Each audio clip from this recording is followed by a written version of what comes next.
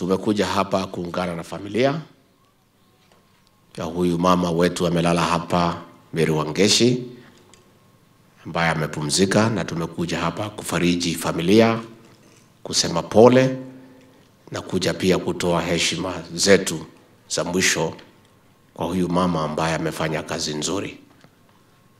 Na huyu mzazi hata kama hatu hatujajua yeye hapo mbeleni, tukiwa na huyu bishop wetu Kabono vile tunamjua na kumwelewa, tunaona huyu mama alifanya kazi nzuri sana ya kumlea mtoto wake na wale wengine, akakuwa mcha Mungu, akakuwa amejitolea kutumikia Mungu, na kwa hivyo ni pongezi kwa huyu mama ambaye amelala hapa.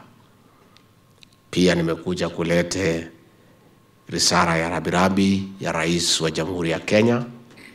Mheshimiwa Daktari William Samoe Ruto ambaye ni rafiki sana ya Bishop Kabono. Rais amenituma na risala ambaye nitasoma. Hangeweza kufika kwa sababu alikuwa amepangiwa kazi ingine pande ya Trans Nzoia, na akaniambia nikuje hapa nimwakilishe na bishop na family yenu, nimwambie pole. Rais amehuzunika, yeye ni rafiki yako, ulimwombea, ulimshikilia kwa hii safari yake ya uongozi, na anasema pole sana.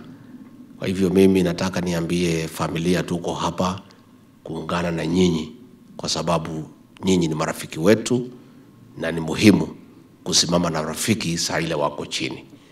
Na mimi ningetaka kuuliza Wakenya pahali pote walipo, wakuwe wakichunga wazazi, hapo ndio baraka hutoka.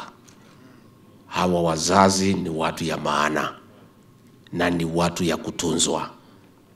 Ningetaka kuuliza Wakenya wakipata nafasi, Mungu akiwaonekania, wakipata nguvu, wasisahau kurudi nyumbani na kushughulikia wazazi.